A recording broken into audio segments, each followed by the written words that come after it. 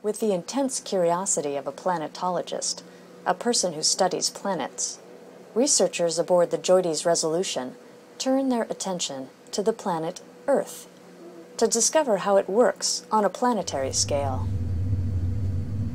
We learn a lot about Earth by studying earthquakes and volcanoes. Most of the earthquakes and volcanoes in the news shake and blow around the Pacific Ring of Fire.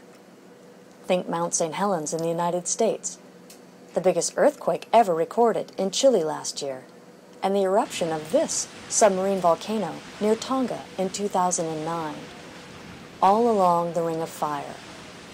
In fact, 95% of Earth's volcanic activity takes place around this ring.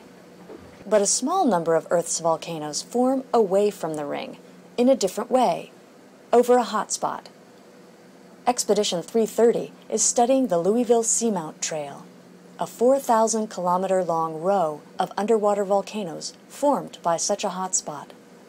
A hotspot is an area where hot rock from the deep earth rises towards the surface. As it rises, it expands, melts, then breaks through the crust above it, forming a volcano. But the crust above is actually in motion. Slow motion. As this continues, it leaves a trail of volcanoes. Dr. Anthony Koppers is one of the principal investigators on Expedition 330. Seamounts are basically like a window into the deep earth processes. Seamounts form above hotspots. But there's a big question out now in the science community, and the question is, are hotspots actually stationary or fixed in the mantle, or can they move around?